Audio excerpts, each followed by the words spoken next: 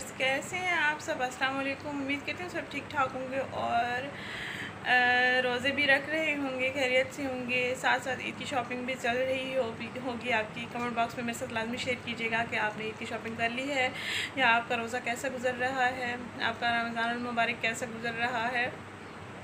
तो उम्मीद करती हूँ सब खुश होंगे, खैर से होंगे। तो कुछ दिन मैं आपके साथ कनेक्ट नहीं रही। मैं बहुत ज़्यादा मसरूफ़ थी आज की नानों के घर गई हुई थी तो वहाँ अम्मी जान की तबीयत कुछ अपसेट थी तो मैंने कहा चलो मैं हो आती हूँ अम्मी की हेल्प भी कर दूँगी चलो अम्मी की सेहत ख़राब थी थोड़ी तो अब बिल्कुल ठीक हो गई अल्लाह का शुक्र है। हम्म, वहाँ मुझे नेट का इशू था तो मैं आपसे वीडियो शेयर नहीं कर सकी इन्फॉर्मेशन कोई भी शेयर नहीं कर सकी कोई भी एक्टिविटीज़ आपके साथ शेयर नहीं कर सकी तो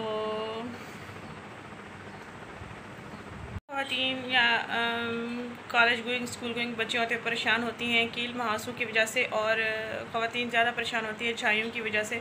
तो जिनकी स्किन बहुत ज़्यादा रफ़ हो चुकी है, कील महासों की वजह से या छाइयों की वजह से, उनके लिए ज़बरदस्त मुजरब वजीफ़ा है, जो कि आप मुबारक में अगर करेंगे तो आपके लिए बहुत ही ज़्यादा फ़ायदा मंद रहेगा। आपने करना ये है कि अवल आखिर एक दफ़ा द्रूद शरीफ पढ़ लेना है और उसके बाद आपने या मुसवर हो, या खालिक हो, या जमील हो, पढ़ लेना है। आपने हाथों पर फेर हाथों पर फूंक मार के आपने फेस पर ऐसे फेर देना है और एक गिलास पानी पर आपने एक फूंक मार देनी है। उस पानी से आपने, जो पानी आपने एक गिलास का लिया हुआ है, आधा गिलास आपने पी लेना है और बाकी जो आधा गिलास बच है, उससे आपने चेहरे को वॉश कर लेना है। तो उम्मीद करती हूँ आप समझ गए होंगे जो मैं कहना चाह रही हूँ। पीछे आज रो रहा है, अभी जागा है बिल्कुल। तो बात नहीं कर सकती हूँ। आज भी रो रहा है, वो कह रहा है, मुझे उठाओ। अब ये कहता है कि, मुझे उठाओ। वहाँ नानों के घर सब उठाते रहे तो अब ये आदि हो गया है कि बस मुझे उठाओ। मैं सोच रही थी कि पता नहीं काम मैं कैसे करूँगी, वरना तो ये लेटा रहता था, खेलता रहता था, और फिर मैं काम काज कर लेती थी। अब तो ये कहता है, मुझे उठा के बैठो और मैं खेलता रहूँ। तो आपने ये वजीफ़ा किसी भी वक्त कर लेना है, क्योंकि आजकल रमज़ान का सीज़न चल रहा है, रोज़े में होता है बंदा।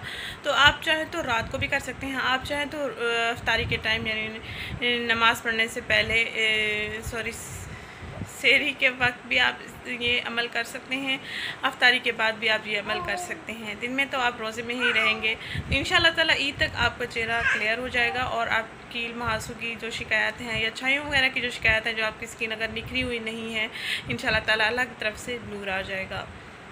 मेरे चैनल को प्लीज़ सब्सक्राइब करें, मेरे वीडियो को लाइक एंड शेयर करना मत भूलिएगा। मिलते हैं अगली वीडियोज़ में। Thank you. Allah half